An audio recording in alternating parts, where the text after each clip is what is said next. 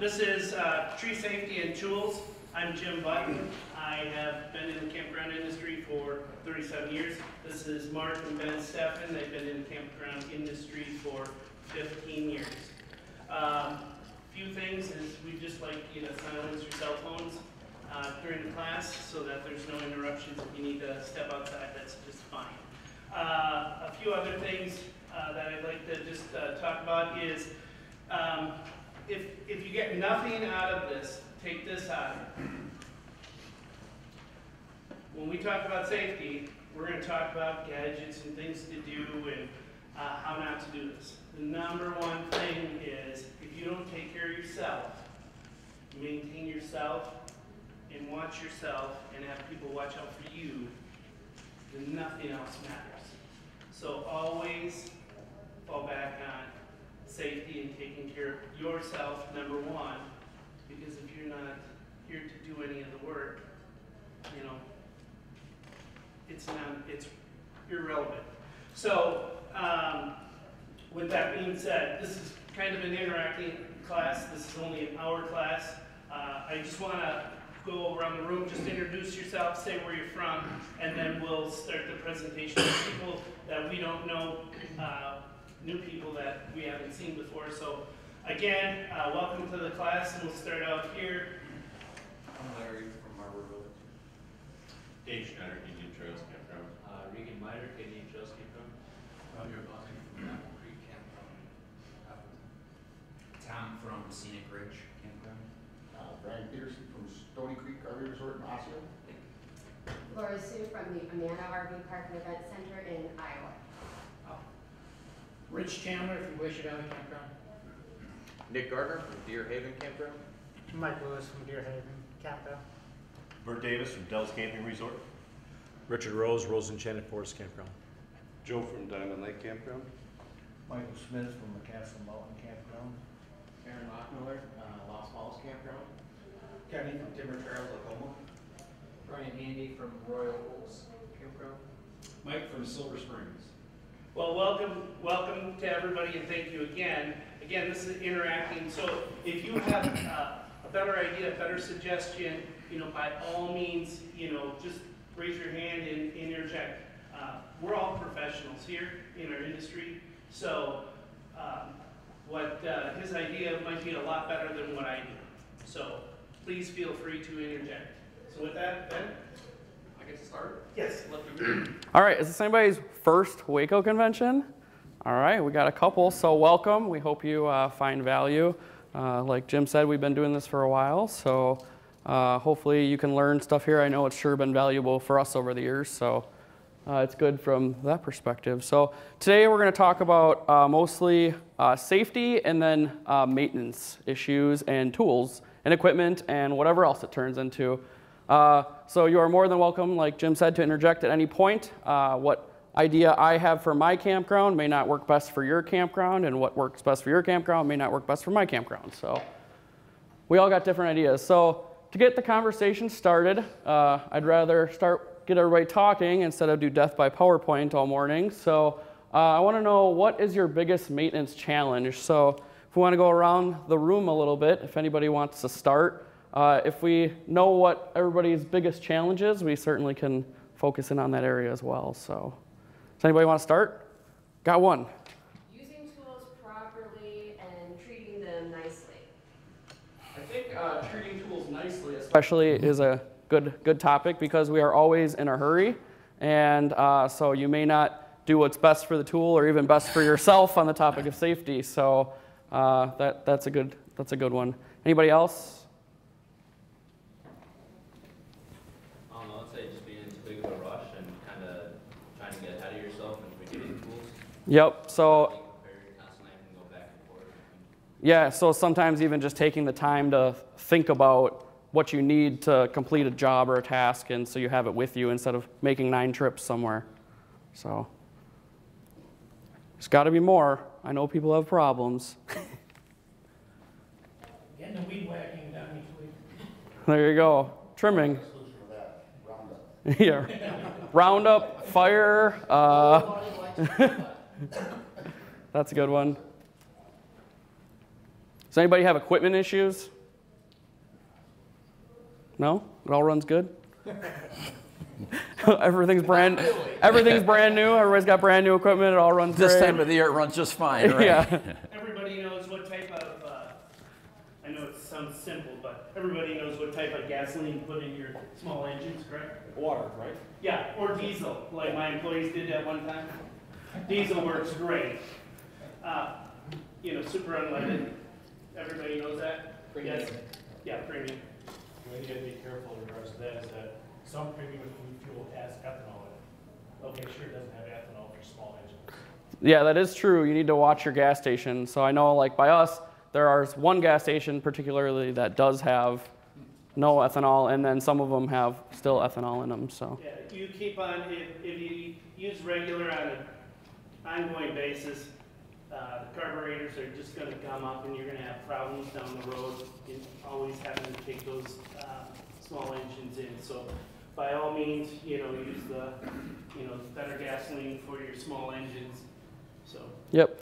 All right, so I think before we dive into equipment maintenance, I think we'll go over some tree safety and chainsaw safety quick.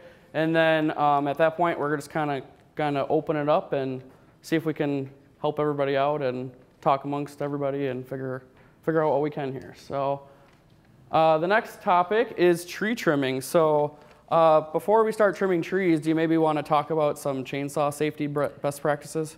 Chainsaw safety, um, the biggest challenge that I have is if you, like storm damage this year, you know, we've had our share of that. And when you get a tree that's twisted, the biggest thing is find out where the stress is coming from because, you know, you could break a leg, an arm, you know, get the thrown, saw thrown at you. A lot of bad things can happen. So biggest thing is, is, you know, what I find with tree trimming is, number one, take your time, keep thinking. Don't worry about what's going on or I got a problem over here, I got a problem over there. Worry about what's going on right here, what you can control. Because if you can't control this, like Jim said, if you're not there, you got problems, real problems, not just, you know, the tree's bad.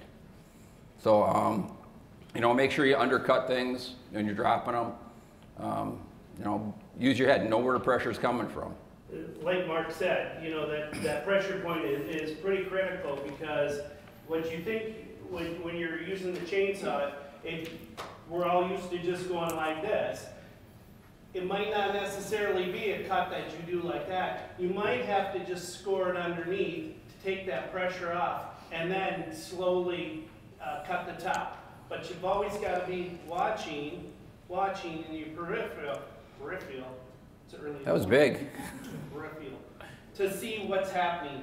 Are other limbs coming down? Is that tree hanging so that it- when you cut that, it's gonna fall, hit something else, and maybe make a limb or a branch? I find when you're in doubt of something too, you know, if you're just not sure, you're looking at it, you see something's gonna happen, get your pole saw out. You know, keeps you a safe distance from it. So if something happens to your pole saw out, it's better than your leg. And make sure you have uh, the proper saw for the job, like he said. You know, you don't want to have, when you're cutting a, a log like this, you don't want a small chainsaw for that. Uh, You want something that, you know, has some, uh, some beef behind it, so um, that if there is an issue, uh, you have the RPMs, you know, take care of that. But of, of course, you know, this is a whole list of everything that we do, right? I mean, we all have face masks and safety glasses, we all put that on every day, right? Right? Yeah, I'm sure. Same with, uh, you know, the saws with the chain guards. Of course, this is by all means, you, you need to have that on. That, uh, uh, the chain guard and brake, I mean, that is crucial. I'm on the fire department, we always have our chainsaws in the lock position, always. So if you aren't in a habit of doing that, get in the habit of having that brake guard and engaging it so that when you start it. I've actually had one kick off on me that didn't have a chain guard on it. Yeah. You know, back, you know, 25 years ago. Yeah. It's You not a good thing when you grab your hand like this and you start looking and hoping your finger is still attached and not on your other hand. Everybody knows what the brake is on the chainsaw? That? Brake down, okay. And so, again, uh, make sure that that's on. If you aren't in the habit of doing that, try and get in the habit of doing that. It's for your safety or whoever's running that chainsaw, so it just doesn't start up and take off right away. Um, approved shoes, again, steel toe. Um, it only takes a split second for something to happen to you. Uh, a pant leg, a arm, a finger, anything, toe, even though they're steel steel-toed shoes, you know, again, when you're cutting through, I know it sounds silly, know where your feet are. Sounds silly, but know where your feet are. Uh, have the proper gloves, proper clothing, um, chainsaw chaps, fall protection harness if you're up in a, a high lift. Again, my, for me, I always like to take two people. Always take two people for the what if. What if something does happen and we don't want that. So always take somebody with you, but that person must know to, to stay away from you so that if you have that chainsaw and you go like this, that they're not there. Okay? Um, the, the harness is crucial. Anytime you're up in the air, anytime, we can go around this room and I bet you that we've had an incident, we'll call it an incident, no OSHA people in here, right? We've had an incident of not being tied to something, right? So always, always be tied off. Uh, lift safety, oh, here it is, work with a partner, watch for falling debris. Just because you're cutting over here, cutting over here, is no sign that something over here isn't ready to fall down. And extension ladders, there, again, there could be somebody in this room that maybe had an issue with safety ladders. I could probably throw a ball to them. Um, but if you take nothing out of this, takes a split second for something to happen in a chainsaw accident. A split second. That Yeah. picture there, that may have happened in our campground, and it wouldn't have been me or him, but there's one other person of my son's that uh, that had happened to. And he was real lucky, he got three scratches on his leg and that was it. And all he was doing was he was, had his chainsaw in the hand, the chain was a little loose, so it was running, he just got cut, and he stepped over a log and he picked up and he grabbed his pant. Yeah. You know, it just, The- it's scary how quick that happens. Yes, sir.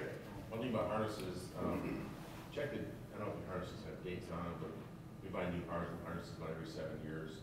Uh, some some of the local utilities, they require new harnesses every two years.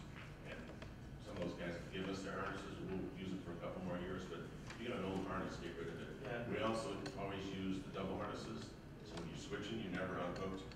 One, one of those two cords is always attached. Yeah, and Dave's a great guy for going up in a lift. I've seen him a few times and, and he runs a lift real well. So if you have any questions on running a lift, Okay, That'd Dave, how many times right have you there. forgot the hook before you went up? did you have a question? Plenty of time. Yes. Okay.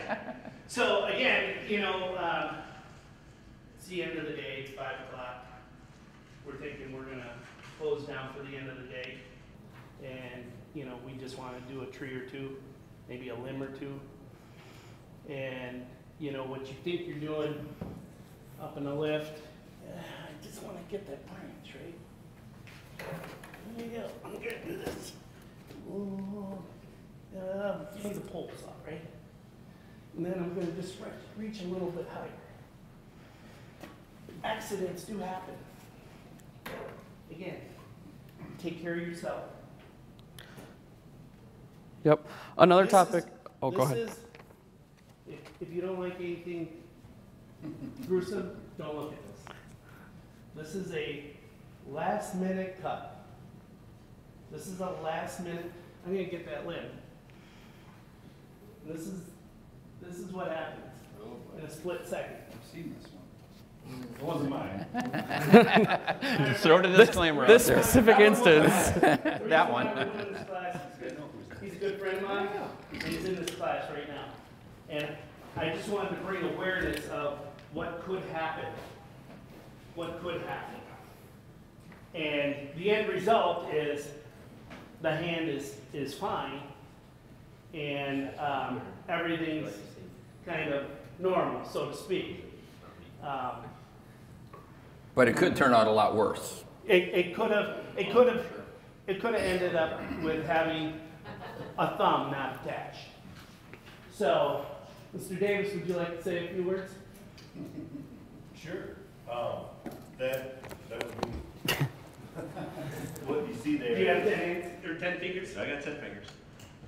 Ironically, that's my second chainsaw accident, but it's, uh, you know, accidents do happen, and what actually happened there, I'll elaborate, was I was in a bucket, and I've been cutting trees for a long time, and it was the end of the day, and I had, it was the last branch on the project, and I've, I've, I've, through the years, I've trained myself to use both hands to use my climbing saw to cut trees.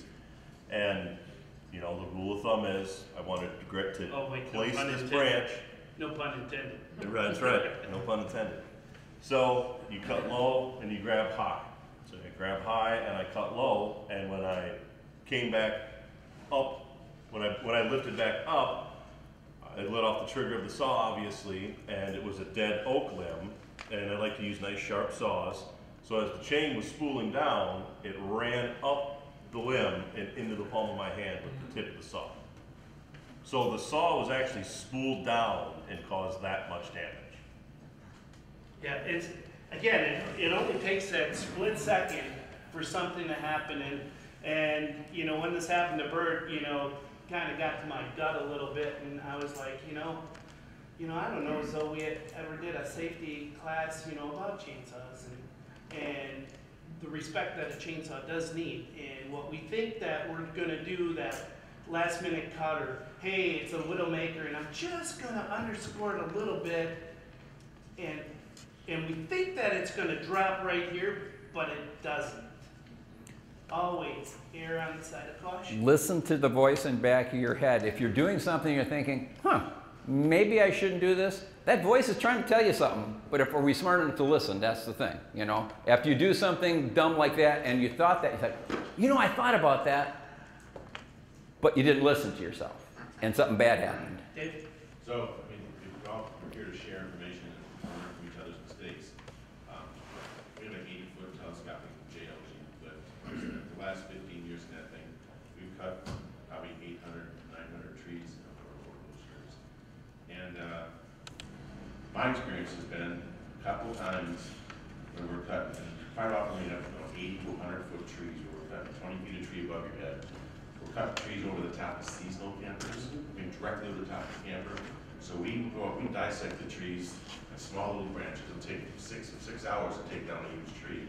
There's been a couple times when the guy I'm cut with, I was always the grabber and the thrower. That's all I did, I did, I did the most of cutting, sometimes I did, but I just had rotator cuff surgery here, this one needs it, uh, because there's a couple times when I got branches that were just way too heavy for me, and I'm holding on that branch, I gotta take this way, and I gotta throw her off to the side. Um, so, cut small, take your time, uh, it only took a couple times in the course of fifteen years where I ended up with a limb that's way too heavy for me, because we didn't judge it, we didn't look at it close enough, um, to make sure that we don't have a problem, so you can certainly injure your arms if you're not careful, it's happened to me a couple of times. Right, and, you know, not everybody is, uh, fortunate to have a lift or, you know, uh, some sort of a, a feature like that to get up, and, and I recognize that. Um, don't be afraid to call a professional, okay? Don't be afraid to call a professional. They know what they're doing, they're insured, and you can work on your business instead of in your business. Again, if you're not here, then what? So, yes, That's why, uh, the, you should really never cut on an extension ladder. Hmm. No. no, no, no. I had a branch come down and it hit the bottom of the ladder. I see that all the time, so if you can't reach it with like a pole saw, then get like uh, a, a lift, you can get a tow behind. Yeah. And it's not very expensive, but don't ever cut on a ladder. Yeah, you know, you, you have those, like Dave said, you have those limbs that are hanging over, uh, people's seasonal campers. And yeah, they're, they're barking at you to get them down. Um, nine times out of ten, a dead limb, dead tree never falls. It's usually the live ones that really have an issue. But, um, if you have to call a professional to do it, you just might be overwhelmed with, you know, am I doing the right thing or, or whatnot. Don't be afraid to call a professional to come in. And if, if anything, have them top off the trees. Take that top off and just leave the, the stick up there. You can always, if you want, get the stick down. But you've got that big canopy that's hanging over that seasonal camper or structure of yours, you know, gone.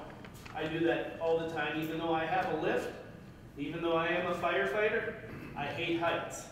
The only reason I go on a roof of a house is because I know there's an ambulance waiting for me. You know, so, I'll just tell you, when it comes to taking down the canopies, I hire that out and just say, hey, you know, I want the canopies, leave the stick up there, I can always get the stick. The stick is not gonna go anywhere. It could sit there for a year or two. Yeah, I think to your point too, Jim, uh, we have owned our campground 15 years and we only bought a lift two years ago. So we went for 13 years without a lift, basically just pole saws and probably unsafe tactics at that point. A lot of unsafe. Um, but uh, we hired a tree guy to come through every year and we did all the groundwork for him. So that's something you can do to help help save yourself too. Obviously, probably most of you know that, but um, he would just go through and do all the high work, and anything low we would take care of for him. And you can keep him moving along a whole lot faster that way. And like Jim said, also, we only had him take it down to the point where we knew we could handle it, and then he went on to the next one. So I think those are all uh, good things. Go ahead, Bert. Just one comment I want to make is that uh, if, if you have any questions or, you know, you're thinking twice about doing any tree work, don't do it. Tree work is extremely dangerous and, and like these guys are telling you, split second, you could be fatally injured. Whether you get cut, tree falls on you, branch falls on you, falls on somebody else.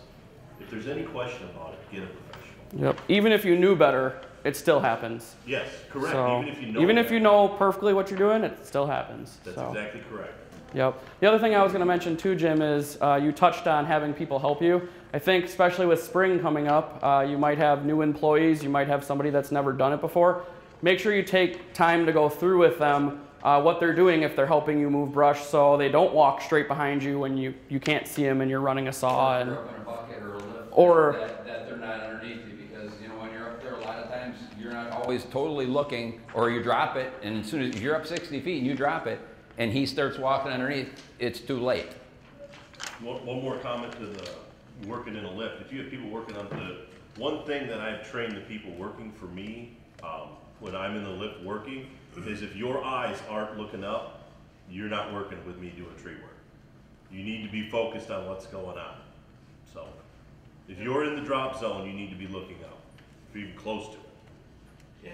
And, and I'll be honest too, something that I just learned about too, which is, was very surprising that everybody knows that, you know, an employee that's, uh, under sixteen, uh, realistically cannot operate any machinery without proper training, right? And I believe it's, uh, sixteen that they can't run, uh, a vacuum cleaner, am I correct, Scott? Basically. So realistically, we all have sixteen-year-olds that can't even run a, a vacuum cleaner. So I would really highly suggest not using your young employees for any type of helping you around trees or any, anything dangerous for them. I would, I would suggest not. Unless they're your kids, then I learned you can do whatever you want. Right? You're the kid. As kids, then we prefer. then you can say, hey, catch. Yeah. Well, you have another son, right? Yes, that one right there. There is, if you want to, if you can Google it, or the state has a child labor law, so to speak. They can tell you exactly what age brackets they can or cannot do with different types of equipment. And all we need to do is have OSHA come in once, and then it's gonna have a big ripple effect, so. So on the topic of OSHA, uh, we pulled some information here to go over, but uh, this card that you can't read up on the PowerPoint can be found on the back of your slide deck here. So if you want to take the time to read through that later, it's good nighttime reading. Uh, so the next thing we're going to go through is we're just going to go through the different uh, pieces of tree care and safety, safety quickly. We covered a lot of it already, but uh, we talked about mostly the improper way to do things. So now this is the, the proper way. So uh, these are possible hazards uh, when you're doing tree care that you see up there. So does anybody see anything missing that was already mentioned in this, in this room? How about a camper? So, uh, like Dave said, uh, I think probably one of the biggest hazards we have as we're working our parks is uh, obviously people, the public, and campers and equipment, cars, whatever it may be that's laying around. So, uh, So in my campground, if you go back, in my campground, I probably wouldn't have that, I wouldn't have that, I wouldn't have that, I'd probably maybe have one guy standing there, and that's about it, that's my tree trimmer. Um, we, we should do this, we should do this, we should rope off an area. If, because we have guests coming in, if we're during a storm, we should rope off an area, get the caution tape, it's cheap, you should at least you're doing something. Because all of a sudden something happens, and little Johnny comes in and gets hit by even your employee taking a branch and going like this. Where was your safety zone? So at least do something. Something's better than nothing. Yep, I know in our park too, we always have seasonals that think they want to help. And they're So- always curious and want to Or, know. or drink yes. beer and watch you. Uh-huh. So, And stand too close when they watch you. Yep. yes. Entertainment. Sitting in a golf cart. Mhm. yep. So uh, In your drop zone. yeah. always make sure, no matter who they are, if they're not supposed to be in that drop zone, keep them back. Doesn't matter. And also another thing with the drop zone too, is actually like establishing where your drop zone is, because, uh, when I've been cutting, we've dropped logs and had those logs hit the ground and bounce Oh, yeah. several feet in the opposite direction, so. Yep. Yep, and we'll get to that where here in logs just a second. bounce or where it's gonna end up, so. Yes. Not having anybody directly below where you're gonna throw or even in, you know, twenty feet area. Did everybody hear that about tree, uh, when you cut off the tree and how it bounces and it can fling back quite a ways? Especially if it hits concrete or blacktop, or they can bounce way further than you'd think sometimes. So, yep. That's already down there. Yep, exactly. So uh, this just covers the, the, the areas we saw on that picture, but we're going to kind of go through each of them quickly here, even though we covered a lot of it already. So uh, public safety, this kind of goes back to the uh, keep that barrier, caution tape, cones, whatever it may be. If it's a road in your campground, block a vehicle across it, a campground vehicle, whatever you can it's just running on its own now. All right, there we go. So whatever you can do to keep people back and keep a safe area. Also, uh, when you're when you're setting up that zone, plan ahead. You know, figure out where your tree's going to fall, uh, where stuff could bounce to the to the point of that. So. And with that, uh, Ben was talking, Ben and I were talking just a little bit ago. Uh, he has a drone that he actually has where he can go up and he can get the height of the tree. And he's real tech savvy on that end, um, knowing how far that's gonna fall. So he'll take his drone up and see how big it is. And some people just go, well, it's 10, 20, 30, 40. I kinda do it old school, so I take a stick, about like this big, and I put it in front of my face and I look at the tree, and if that's the tree I'm looking at, I just keep on going back like this until I don't see the top of the tree, and that's where it's gonna fall. That's where the end is gonna fall, provided you make the right cut. And making the right cru- cut is crucial. How tall is your stick? Right. The, the stick is only about sixteen inches. It's gotta be straight. And so you take that and you put that right there and you just keep on walking back in a straight line. And when the top of the tree comes to the bottom, that's where it's gonna fall. Yeah, and I think uh, to this point, any any method you can use to figure out how tall that tree is is helpful because the the example of the drone last year, we had one where we were really questioning if we wanted to handle it ourselves or if we wanted to have somebody come take the top out of it because there were a bunch of campers around. And I said, well, why don't I just fly the drone up? The drone has elevation, you can see how high the tree is, and it was within like five feet. We figured of where we thought it would land, so it was pretty helpful from that aspect. So And then it was taller than the lift could, Yeah. like you said, it was over my head, and I wasn't comfortable with it, so we ended up saying, nuts with this, we took the whole tree instead, and took it, and we probably shouldn't have, because it was, that voice was in my head. Should we do the whole tree? Well, it's got room so long we make the cut right. No risk, no reward, Mhm, right? Yeah. So, yes, Dan. We don't drop trees. We take them down all the way to the end. Then we'll cut four to six foot pieces at the very, very most. We absolutely never drop a tree. Yeah, and I think. whole tree, we just never drop. Uh, if you're if you're in a situation where you can do that, I know we've found that's a best practice as well because we do a whole lot of that now versus where when we didn't have a lift, when we didn't have a lift, every tree we dropped came down in one piece. But then you get into all kinds of different issues like you know debris flying, and when you take when you take a tree down with a lift, there's no flying debris other than what you drop. Everything that we drop, um, person can pick up and walk away with it. Yep. out of the drop zone. So we've all had storms go through our park. I've had uh, two major storms go through the park, uh, in, in our park. One, uh, that, one storm was um, in 1993, July 3rd, 1993. Oh yeah. My parents had still owned the campground. A storm came through, they set up emergency management in our campground. Nobody got hurt. Our park took us two years to clean up our park, to even get it where we could move around. There was trees from- all over. We, yes, sir. We had a storm a couple years ago, um, which I was fortunate to have some campground friends uh, come and help me. Um, Again, that's what we're, we're- we all help each other. So thank you, Scott, for, for coming and doing that. I appreciate it. But I learned from my parents back in the day, when it took us so many months to clean that up, I called professionals, and I called uh, a friend of mine that owns a logging business. So now, what I do is call him when I have anything, he comes in, clips it, picks up the tree, walks it out to the street, drops it, and I'm done. It takes nothing to do that. Again, calling the right people to do the job. We want to work, not on, sorry, we don't want to work in, in it, so to speak, where we're doing what we shouldn't be doing, work on what matters. Uh, Yes, tree trimming matters, but hire the professionals. So we actually do it a lot faster and a lot smarter, and they bring in the right equipment for that, so. Yep, and I think as we found out, you definitely learn as you go. So Oh, that's yes. one of the most important lessons.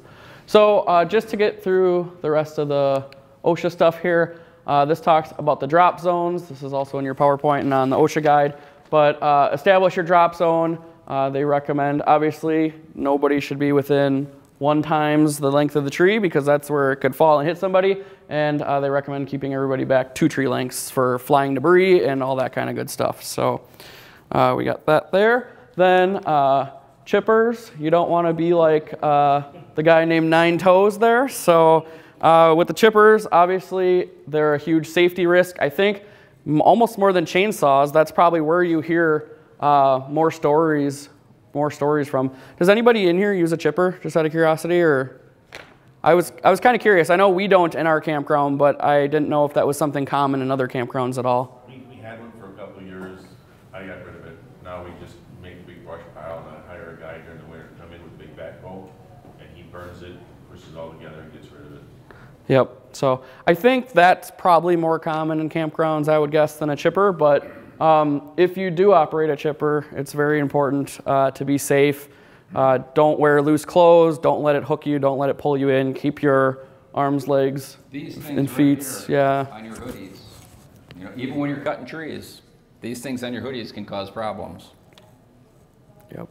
Customers don't wanna listen to a chipper. They don't wanna listen to your saw. Not much, you know, chipper doesn't help. so. Yep.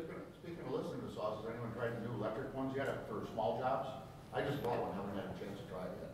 Little Evolve battery operated chainsaw, anybody got those yet? I got a small Stihl, and, uh, it's nice for small work. Yeah, for small jobs. Yeah. Pruning or something like that, or, you know, a, a branch that's sticking where you don't want it to be, as long as it's a small diameter, you should manage. And those small Stihls with the bucket handles are really nice when you're up in a lift and you're just limbing. You can go all day long versus having a regular chainsaw where it's just on your elbow the whole time. So Yeah, it, Stihl Highly doesn't make, recommend them. Stihl doesn't make one, it's literally ergonomically, ergonomically correct, where it's a lot easier to use for trimming Yeah. than a regular chainsaw. That's a bucket saw. Yeah. it's a big Are you talking uh, gas or electric, just to Gas. clarify? Both. Both? Okay, yeah. Yeah, because uh, that's another topic too. You know, if you have the right equipment, if you're going to be up in a bucket, make sure you have a bucket saw. Um, it makes life a 100 times easier and safer. Yep, the Um, 193s, the 201s. Yep. On the topic of electric chainsaws, I know uh, even within the last year, they have come along a lot further. Probably two years back, they were a joke. And um, you know that that electric, those those electric equipment, I think we're going to see that in our industry relatively quick. I know you see uh, like landscaping crews and stuff starting to use electric trimmers in their business because the neighbors don't hear it, the customers don't hear it, and you know, yep, it's it's all it's all low low noise stuff. And you know, if you're out there trimming during the week and you've got campers around, that's going to be something to consider at some point when when it can stand up to what we need it to do. So. The, the nice, the nice thing with the electric saw, though I don't know about the RPMs on the electric saws, don't have quite what, you know, your gas saw has. The best feature of that electric saw is that as soon as, uh, his finger's off of that, uh, uh, clutch, or off of the gas, or the electric, it stops. It stops. So as soon as he's, his finger's off of the trigger, it stops. That chain stops. It doesn't slow down. So, Yep. So the next slide is lifts. I know we already talked a a lot about lift safety, but uh, we've got a nice, nice demonstration here of something Mike would try to do to get higher. So using the forklift to lift the lift. Yep, got to get that last branch. So, uh, but I think some good general practices uh, in reality are to inspect your lift before you use it. So, you know, before you take it 85 feet up in the air, maybe make sure it comes back down, kind of thing. So just just run it through the paces a little bit before you use it for a whole day. Also, if you have outriggers on your lift, put them down. Don't think I can get away without it. You know, I, I can I can reach that far over the side without the outriggers. Don't do it. If you have a newer lift, hopefully it'll stop you from doing it. Uh, although we all know that kind of technology breaks and then stops us from doing what we need to do as well. So also, if you're going to be in a lift, you better have a harness, obviously. Hopefully that's fairly common sense.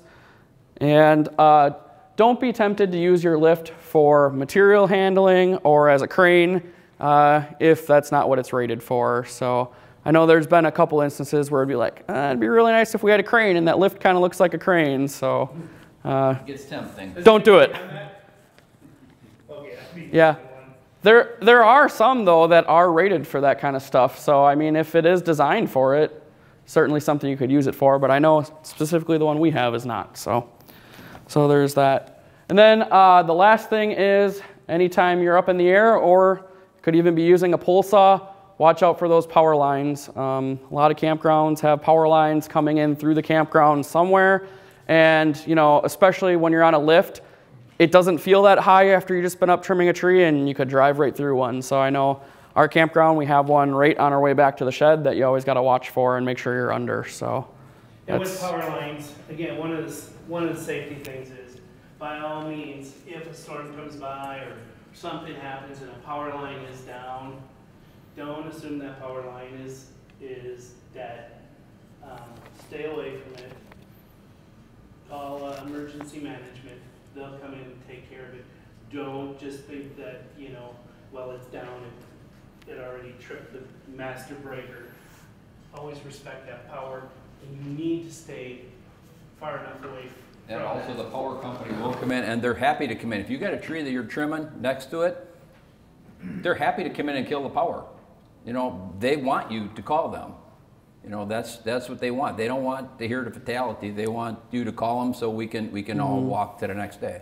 and depending upon the situation, they may even be willing to take the tree for you Correct, down yep. below the height of the power line. I'm sure it depends upon the company and so on and so forth. But we've had a few trees that we've gotten the power company to take down because Mhm. it's too close to the power line. It's not safe. Yep, and they didn't want, they didn't, they- you know, it was, it was a line they chose not to, they said, well, we'd rather just take it down. I'm like, go ahead, perfect.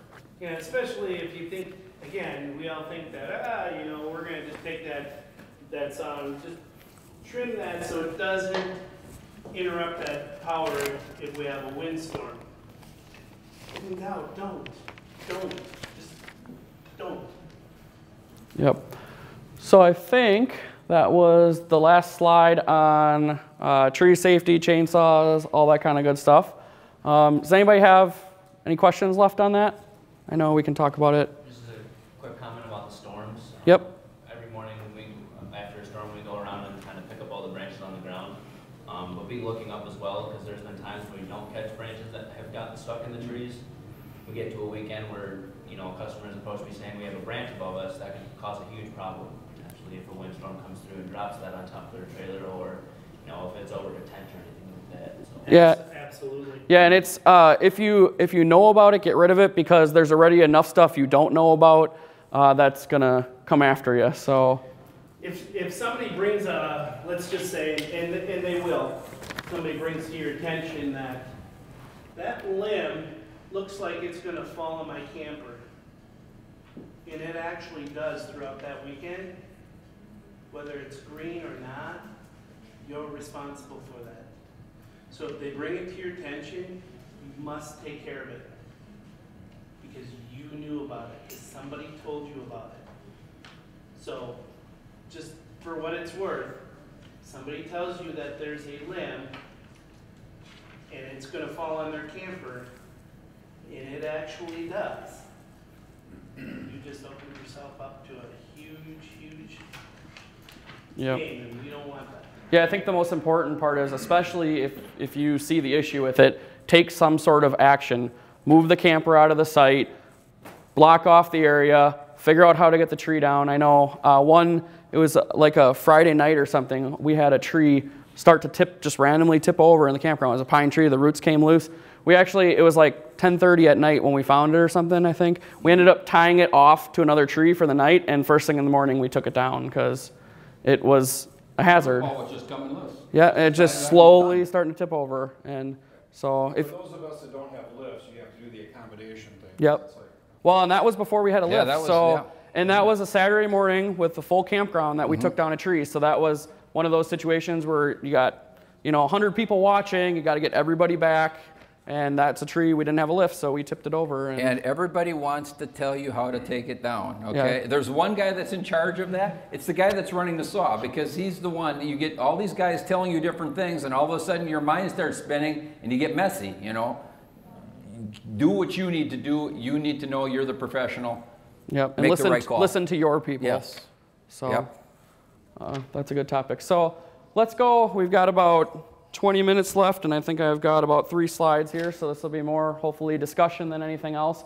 But uh, let's go on to some tools and maintenance. So we just want to talk a little bit about the different types of maintenance that are on your campground. And I think it's important to talk about the different types of maintenance because we're always so busy. We just want to get it done. But uh, to some extent, you have to think about uh, what's important. And uh, you know, if you have if you have things broke, obviously they need to be fixed. But um, you know, are there things you can be doing along the line when you realize something's breaking? Can you fix it then, so that way you don't have such a major repair in the end?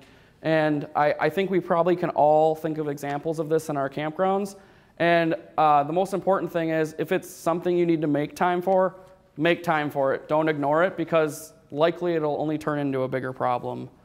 So, uh, yeah, I just I thought we I thought it'd be helpful to break it down by you know kind of four categories. So there's obviously preventative maintenance you do in your campground. We can all think of examples of that. If you're driving a utility vehicle around, change the oil in your utility vehicle so that doesn't break down on you. That's a simple example. Then uh, you know repairs. You got a broken faucet. Well, obviously that's got to be fixed, but you know if you have a, if you have a, if, if you happen to notice you have a slow urinal running, you know, snake the thing out because guess what? When that weekend comes and you're busy, you're gonna have another problem. You're gonna end up having a plumber come, or you're gonna have to figure out how you're gonna have the manage the time to get it done. so So preventative maintenance is, is, of course, you know, number one up there. Preventative maintenance, though, you know, in our spring, we are running at full capacity and we're just in deep. And we don't have the time for it.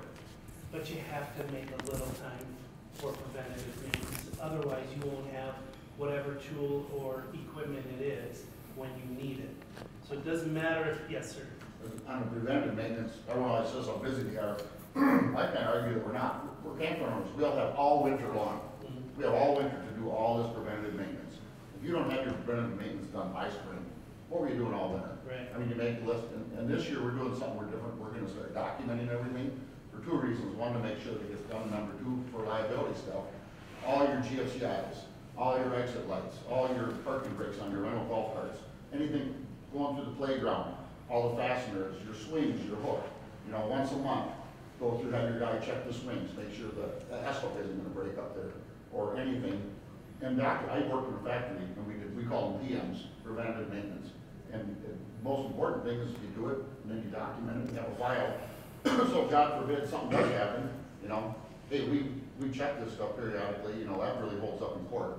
I would think it would really be helpful if you have an actual program and things are documented with dates and all that stuff. Right, I think another couple things that help for us, because we're in the middle of nowhere, is make sure you have all the pieces and parts available and what you know is gonna break down. That's number one. Yeah, Extra everything. Yeah, and then number two is we put somebody in charge of that maintenance, and then you as the owner have to give them time to be able to work on that, because then you have one neck to squeeze in a nice way, right? For your maintenance vehicles, or we got one guy that takes care of the pool, but he's gotta have time to do that, but he makes sure everybody else is using that equipment right, and you give them the time to do that, and you give them the back, and for those that aren't doing it correctly, to make sure they stay ahead of it. And our downtime for stuff, knock on wood, has gone down dramatically over the last couple of seasons by doing that. I bet your Ranger's not gonna start when you go home. Right? I knocked on wood. Then another thing is kind of making sure that everybody who is working with said equipment is up to scale with how they work and what you need, you know. Someone who is using a mower and I might not know that you have to grease up all the zerks or blow out the air filter or anything like that, and then that gets skipped and then it's not done until the next time, and then you could potentially have bigger problems. Yep, if you have a lot of employees, I think uh, possibly documented processes would be a, a good topic. And another topic is uh, systems, obviously, which you kind of went for there.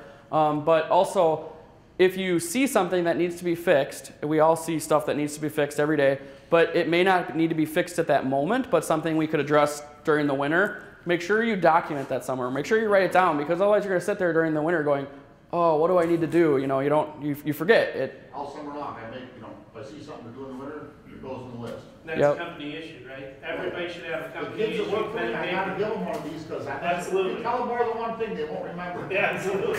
I like it. Yes, sir. Not even, a, a notebook does help, but a big thing I learned from him is taking pictures of things. Yeah. Mm. I, I have our, our host people, people, since we all have smartphones nowadays, if they're cleaning the cabin, and we got people checking in two hours from now, they send me a picture of the, the light bulb that's out, the, the loose toilet seat, whatever it is.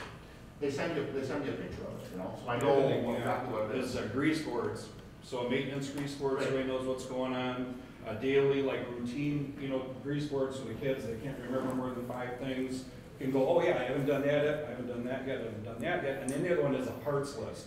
So when they take the last twenty amp breaker, they write that down, need more twenty amp breakers or whatever, because you're not in it every day. Yeah, the last thing that you need is uh, a weekend to come and all of a sudden you don't have a breaker or another GFI or, or something, you know, where are you gonna get it? Because Memorial Day, what happens every Memorial Day? Yeah. You find out every pedestal and Yeah. every whatever that's not working. It's inevitable. It's your first big pressure.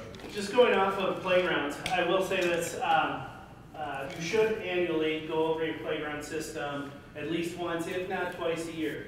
Check for those that have old-fashioned, um, swing sets and things like that with chains and S hooks. Inspect those, so that chain, if that chain is starting to wear and it's over halfway, replace it. Replace it. Um, and so look at every link when you're, and pull that link up and look at it, because it's gonna wear at the bottom. So look, look at it, pull it up, and if those links are over halfway, get rid of it, get a new one. Same with the S hooks. The S hooks are gonna wear uh, exponentially very fast. So uh, take care of those S hooks. And another thing, sharp, sharp spots. So sharp uh, bolt that's sticking out, whether it's on your swing set or whether it's at your pool. Picnic table. Picnic, well, pic, yeah, picnic table. So what I've learned is, I believe it's only a quarter inch that you can have sticking out with it being okay. Quarter inch is not much. What I've learned to do is go to the electrical department and get the shrink tube and cut a little piece of shrink tube and heat that over that edge, takes care of that. So you just take a little piece off of that shrink tube, put it on there, take your little torch. Now you have a safe uh, uh, edge, so to speak. So, but it's crucial in that you document on your playgrounds that you do it. Because if somebody comes in uh, and, and wants records, you better be able to show it. And if there's an injury, you have to have documentation. Documentation's everything. Yeah. Enforce yourselves to do these things because while we're sitting here at Waco, it's always easy to say, yeah, I should really, I should really do that, I should really do that, but go home and force yourself to do it because when something happens, you're going to be like, I learned about that at Waco and I should have did that. So, but uh, that's, that's, I think that's always the key because during the summer, you don't find time for that stuff and you need to find time. So, all right, so I think we uh, covered that one a little bit there. So uh, I just want to talk a little bit how to prioritize maintenance. So uh, just, just some things to think about as you're uh, working on a, a project and something comes up. Um, how many people will it affect? So how fast, how fast do you need to address it? Uh, how long is it going to take you to fix it? Uh, what does it cost? Is there liability involved? So like Jim said with the, the sharp objects, is there liability? And do you have the tool skills required or is it something you need to hire out? And so as, as you go through some of these things, I think you were looking in, what was that? What kind of magazine was that? A Woodall's?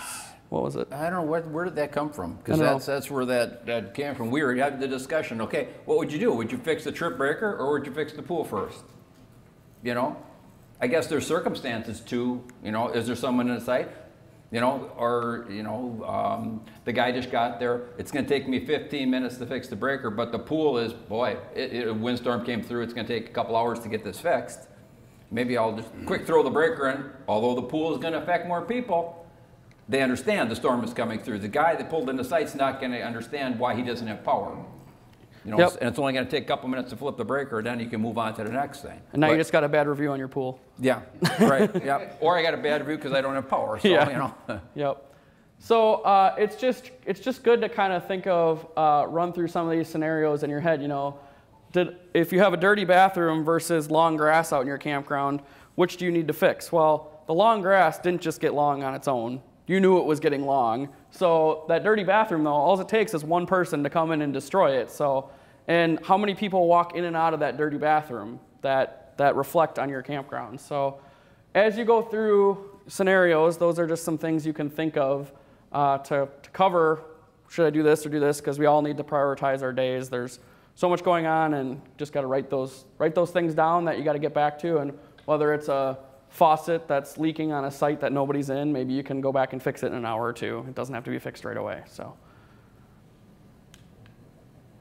So, and then uh, the last slide I have up here is uh, tools and equipment. So uh, we talked a little bit about that earlier. I think you had comments about using them properly and uh, also along the lines of taking nine trips to a shed, uh, keep them organized. I know this last year, uh, one thing we did in our campground, uh, it's mostly my dad, my brother, and I that do maintenance in our campground. And we kind of each have our own gator that we use. And this last year, we actually put a toolbox on each gator with a set of screwdrivers. It's got a set of pliers. It's got almost, we can almost fix anything out in the campground.